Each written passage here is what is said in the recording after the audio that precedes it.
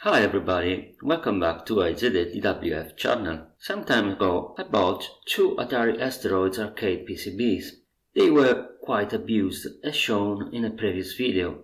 Initially all the work on this PCB was to change some obviously broken parts and trying to reduce the vast amount of damages due to previous careless and unsuccessful repair attempt. I then set aside the two boards and started to work on the construction of a suitable CRT vector monitor.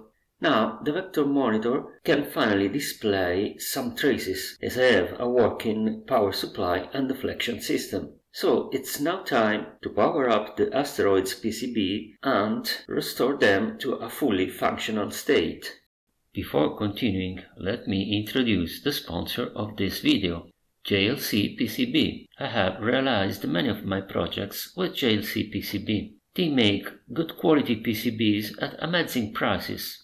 Whether you are a hobbyist or a professional electronic engineer, JLC PCB can suit your needs for fast and high quality PCBs. You can use your favorite design tool and submit the Gerber files on their website. Or you can use the online design and simulation tools that are very convenient or you can simply submit the design files of any shared project. And after that, you just get the PCBs delivered at your door. So be sure to check their website for latest prices and offers. The link is in the description down below.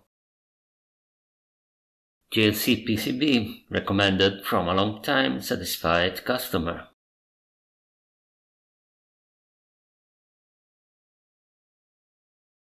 Now, the first thing we need to power up the arcade PCB is of course a suitable power supply. So let's see what voltages this board needs. This wiring diagram is taken from the game service manual. Of course, the first voltage needed is 5V DC for the CPU, memories and the TTL logic chips.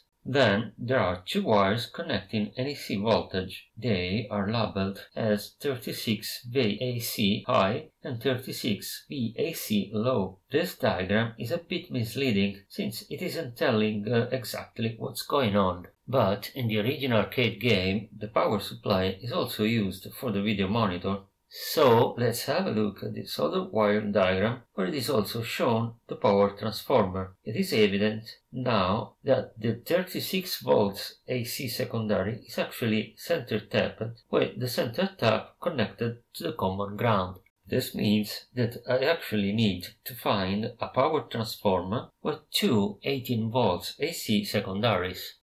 Sometimes a project is born under a lucky star. In fact, the mains transformer of the little TV set that donated the CRT for the vector monitor has exactly two 18 volts secondaries. So I started removing all unneeded parts from the old chassis, I repainted it with a few layers of white enamel and I started building the complete power supply around this metal chassis. To provide the 5V DC rail, I decided to use a small PC-ATX switching power supply. This one will also provide the plus 12 volt DC needed for my vector monitor. However, the vector monitor also needs a minus 12 volt DC rail, but a typical PC power supply has a very small current capability on this output. So I decided to add another small switching power supply for the minus 12 volt DC. This is a very cheap unit I found on eBay. However, the cheap 12 volt supply failed very soon when I started testing the vector deflection board. I tried to open it, but I quickly decided it was not worth to fix it. Instead, I decided to buy a much better and a bit more expensive power supply made by Meanwell. Here you see the two units side by side. At this point, I started assembling all the parts together. Of course, I added also a good number of fuse holders to protect different rails, a power switch on the mains input, and a neon indicator lamp. Also, I had to fabricate a few metal brackets to hold the various parts together. After connecting all mains inputs, I needed to check the correct phasing of the 18 volts AC center tap. To do this, I've connected the scope ground on the common connection between the two secondaries and two probes on the other two ends of the secondaries. What we want to see is two opposite sinusoidal signals. Should the scope display only one signal, then we will need to swap only one secondary end at the common point. I've then soldered the output wires and used a plastic cover to insulate all the connections of the transformer. A few suitable connectors for the PCB edge were easily found on eBay, so I started soldering the power rails to the supply pins. And finally, I can try powering up the asteroids boards. The plan is to check with the oscilloscope whether or not the boards give any X and Y deflection outputs.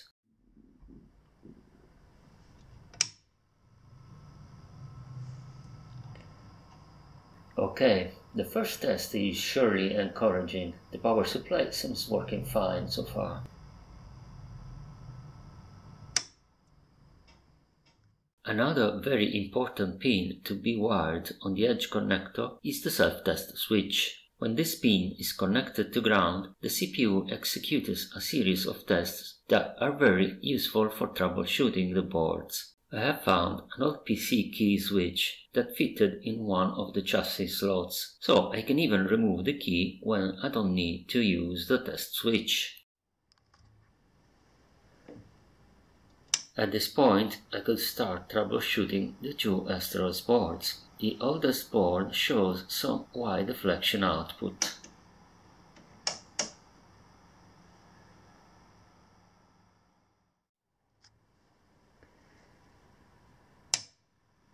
But the X deflection output shows no activity.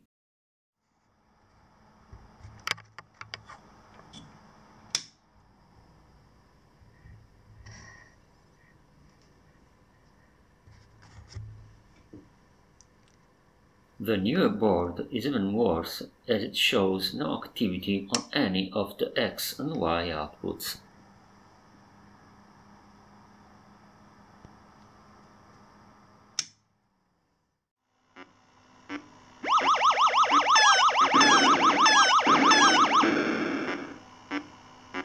As I am editing this video, I have already fixed both boards, but each one will be covered in future videos.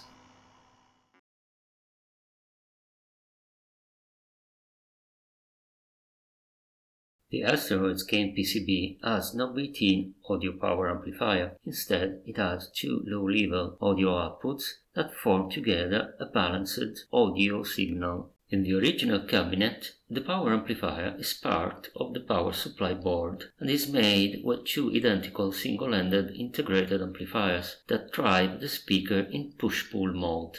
We notice that there is no volume control either on the game PCB or in the power amplifier board.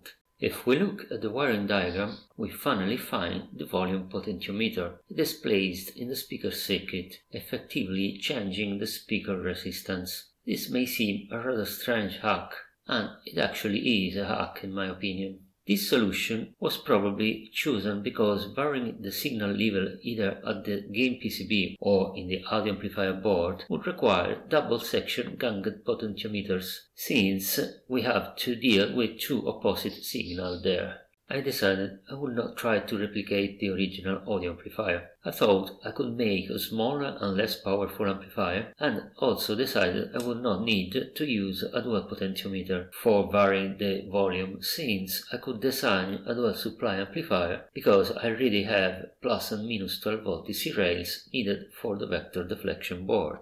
So I settled on this circuit where U1A is a difference amplifier outputting a single-ended signal where I can use uh, now a normal potentiometer for volume control. U1B works as a driver for a push-pull stage made with two Sziklai pairs. Then I tried to add some finesse like bandwidth limits and settable current bias for the final stage. An LTspice simulation of this circuit showed no obvious problems, so I designed a PCB for it and ordered a few ones from JLC PCB. I then made a small heatsink for audio final transistors and built one board.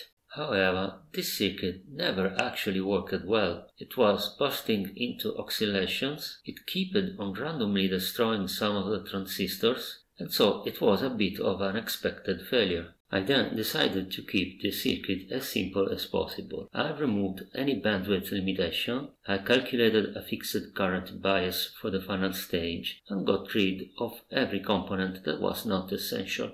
The revised circuit is very similar to the first one, so I could use another PCB of the old batch with minimal modification. The new revision looked quite empty anyway. I've also mounted the power transistor directly on the aluminium heatsink and I used flexible wires to connect them to the PCB because I wanted to avoid any mechanical stress on the PCB caused by thermal expansion and contraction cycles.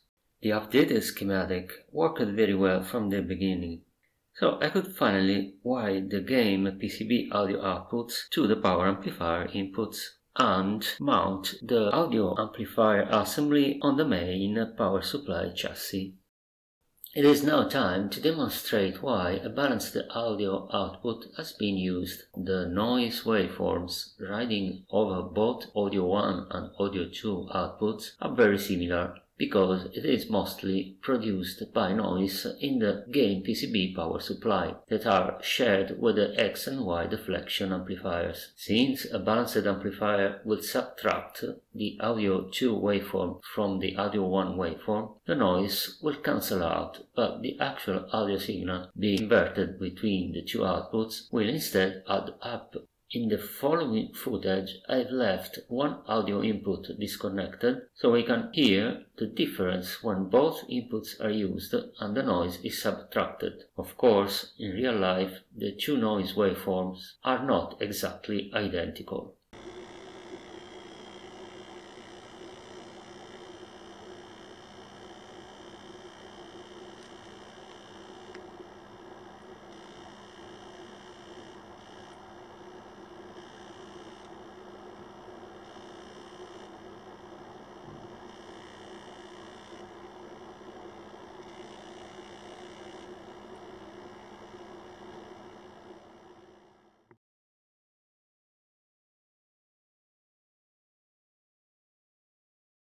The last thing I needed to be able to troubleshoot the game PCBs was a vector display.